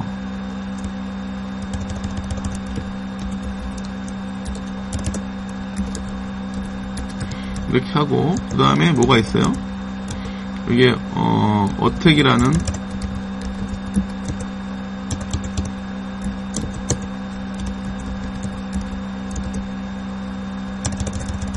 일단 씁니다. 어택 자, 여러분이 이런 식으로 생각할 때 이렇게 많이 프레임 짤 수 있을까? 어떻게 해놓고 어, 이렇게 할 거예요. 캐릭터가 무기가 있고 자 쉽게 가장 쉽게 생각해서 뭐 이렇게 하는 거지. int weapon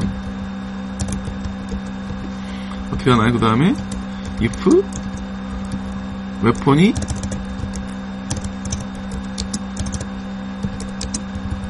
뭐냐 예를 들어서 뭐 sword다. 그러면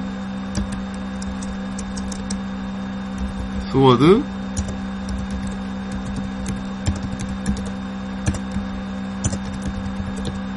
자, 이런 식으로 많이 짜겠죠. 그 다음에 else if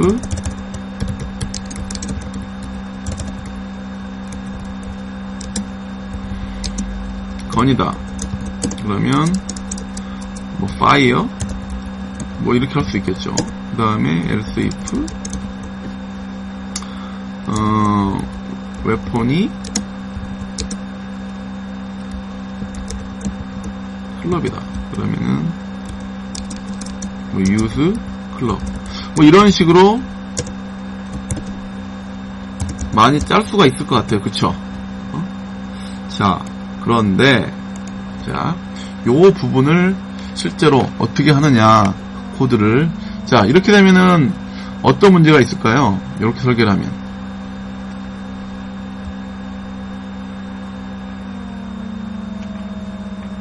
한번 생각해 볼까요? 어떤 문제가 있을지 새로운 무기가 추가됐을 경우 거기에 대한 것들을 계속 일일이 코드로 코드를 다시 추가해줘야 하는 문제가 발생합니다. 가장 중요한 문제는 그거겠죠. 자, 그런데 이렇게 봅시다. 이렇게 설계를 한 거죠.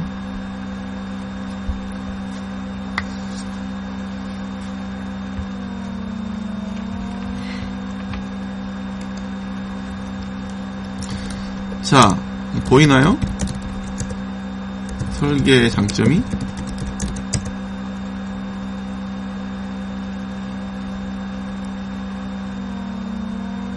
명세진? 어떤 장점이 있어요? 어떠, 어떻게 설계한 거예요?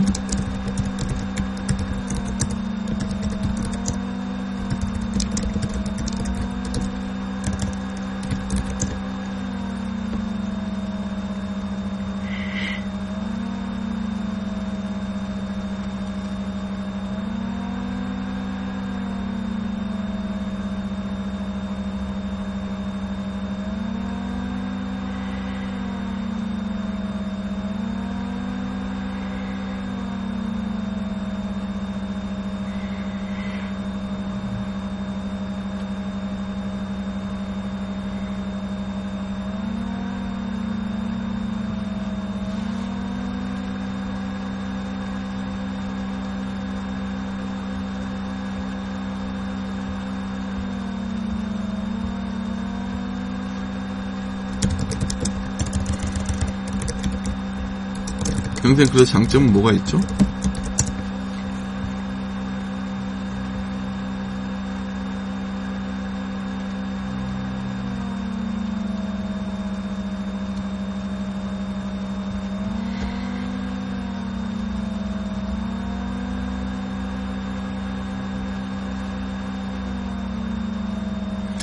맞습니다. 자, 이렇게 설계함으로써 자, 캐릭터의 자, 어택이란 부분들을 어떻게 했어요? 자, 앞에서 코드에서는 어, 어택에서 일일이 웹폰을 확인한 다음에 거기에 따라서 어, 함수를 따로 호출해 줬죠. 하지만 이, 이 경우에 있어서는 어떻게 했나요? 어, 구성, 즉 캐릭터가 웹폰이라는 어, 클래스 클래스를 엄밀히 말하면 이제 인터페이스 클래스죠. 얘를 갖고 있는 거지 구성으로. 자 그래서 attack attack을 한다 그러면 얘가 거기로부터 직접 attack을 하게 되면 attack이라는 이 코드는 자, 어떤가요? 새로운 그 weapon이 추가된다 그래도 어때요? 전혀 변경할 필요가 없죠. 앞에 코드 볼까요? 어떤가요? 요, 요 코드는 새로운 무기가 추가된다면 어때요? 요거 다, 다 뜯어 고쳐야겠죠. 하지만 이렇게 설계를 해주면 어떤가요? 새로운 무기가 추가된다 그래도 이 내용을 전혀 고칠 필요가 없죠. 그렇죠. 즉 어때요? 새로운 내용이 추가됐을 경우 거기에 대해서 이 코드를 바꿔야 될 전혀 이 필요가 없는 겁니다.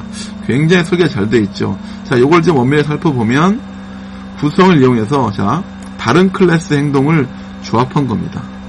즉 이렇게 되면 이제 여러분이 뭐 다른 클래스 행동을 어떻게 어떻게 내서 조합해서 사용을 하고 있는 겁니다. 어때요? 굉장히 그 클래스 설계에 큰 차이가 느껴지나요? 음, 자, 여러분 이런 식의 방법을 잘 어, 활용할 수가 있어야 됩니다. 굉장히 어, 중요한 방법 중에 하나가 되겠습니다.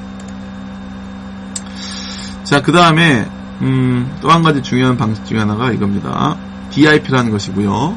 이거는 Dependency Inversion Principle 방식이 되겠습니다. 자, 이거는 고차원의 모듈은 저차원 모듈에 의존하면 안 된다. 이런 것이 되겠습니다. 자, 여기서 말하는 고차원, 저차원의 개념 이런 겁니다. 고차원은 자, 추상화가 많이 된 거. 고차원은 추상화가 많이 된 거. 저차원은 추상화가 별로 없는 거. 즉, 저차원은 구상, 구체적인 거라 이런 뜻이 되겠습니다. 즉 고차원일수록 어떻게 해서 항상 고차원일수록 추상적이죠. 저차원일수록 굉장히 구체적인 거죠. 자, 고차원의 모듈은 저차원 모듈에 의존하면 안 된다라는 것이죠. 이걸 이제 정리하면 추상화된 것은 구체적인 것에 의존하면 안 된다. 그 이유는 뭐예요?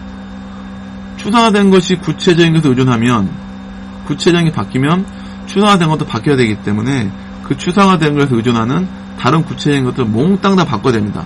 일반적으로 이제 우리가 상속 구조에서 추상 구조에서는 위로 갈수록 작고 뒤로 갈수록 밑으로 갈수록 점점 점점 점점 구체화되고 있잖아요.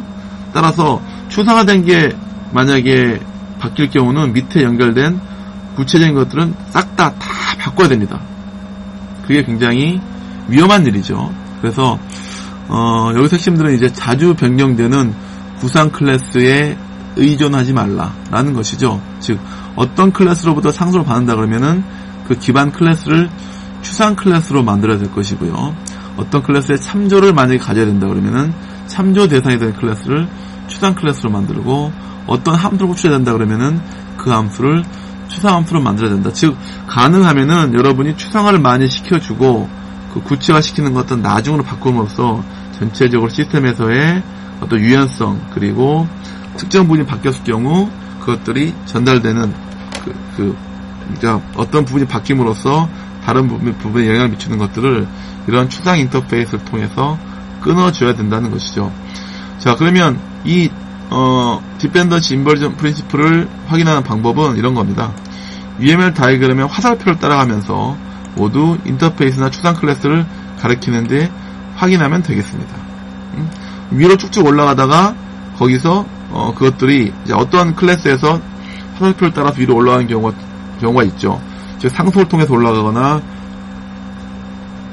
그렇죠. 그럴 경우 올라가면서 그것들이 인터페이스라든가 수상 클래스가 아니고 위에 구상 클래스가 나온다 그러면은 그것들은 어, 이 원칙을 위배한 것이 되겠습니다.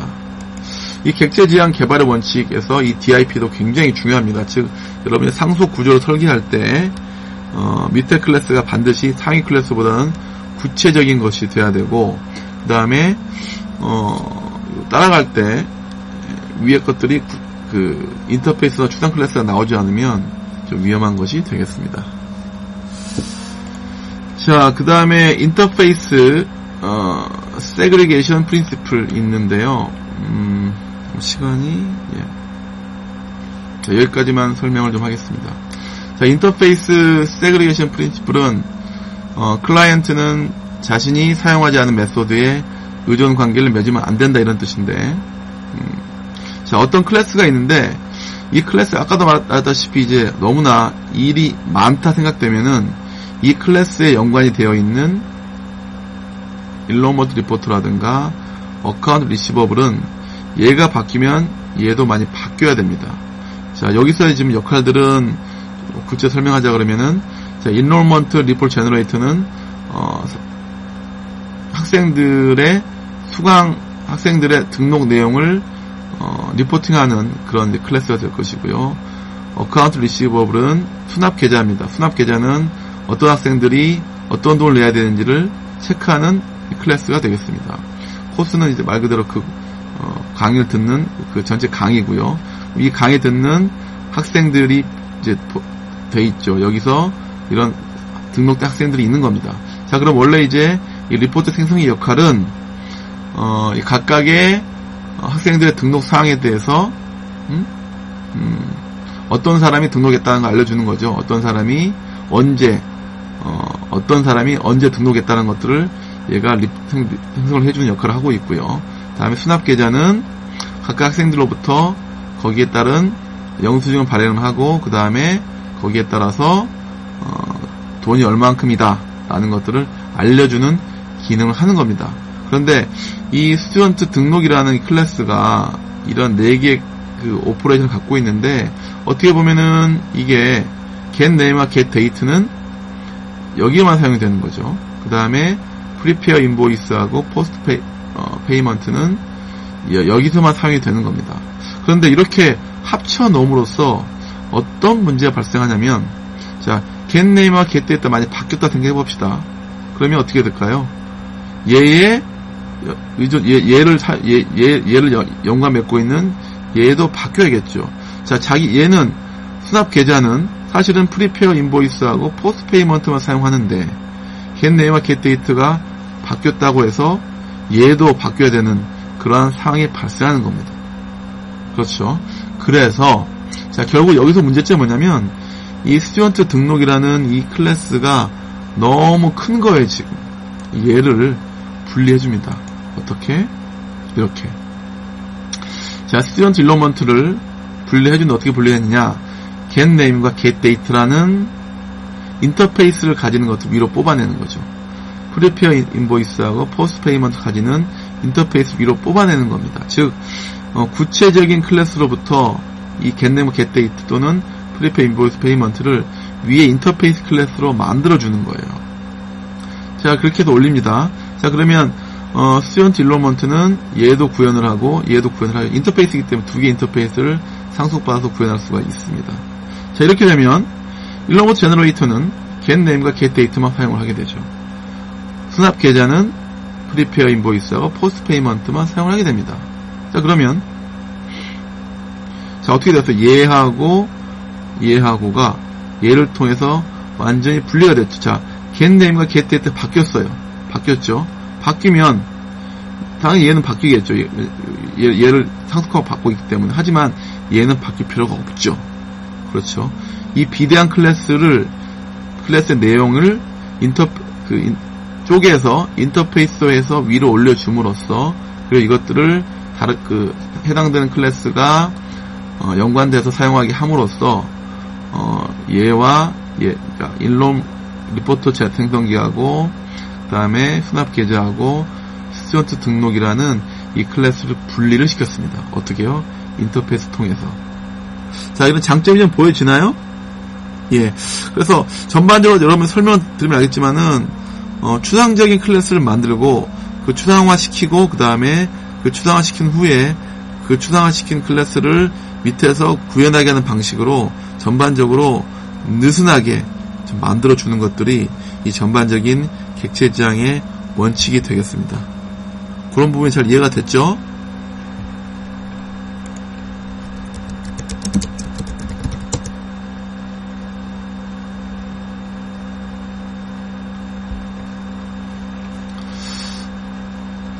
오케이 여기까지 해서 오늘 음, 그 전체 어, 게임 소프트 공학 보강 강의는 마치도록 하고요. 어, 나머 다른 아, 나머지 부분들은 다음 실습 시간에 이어서 설명하고 어, 진행을 하도록 하겠습니다. 자 아침에 조금 고생이 많았습니다. 저도 좀 졸려서 고생이 많았고 오늘 하루 건강한 하루 되시고 눈 오고 비 오니까 다들 안전 조심하도록 바랍니다. 다들 수고했습니다.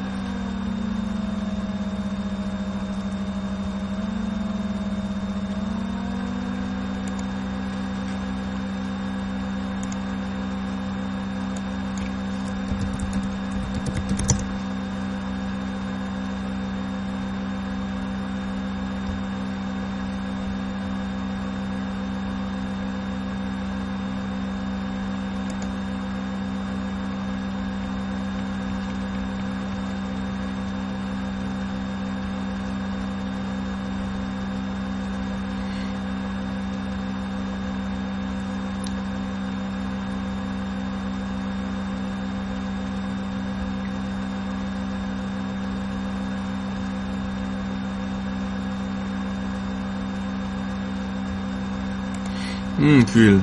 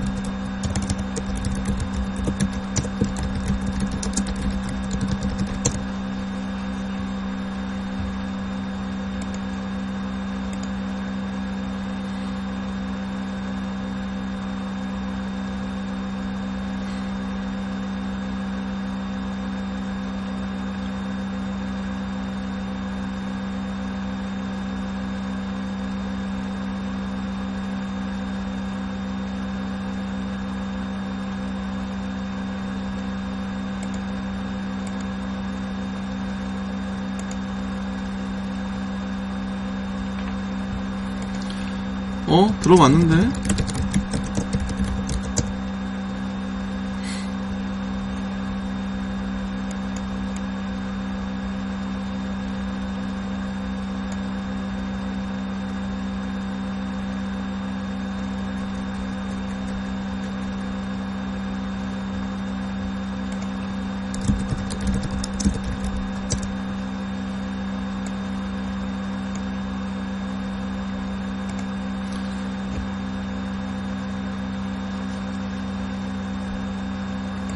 다들 수고했습니다. 세진, 성화, 근성, 신영, 규일, 대현 모두 방을 나가도록 하세요.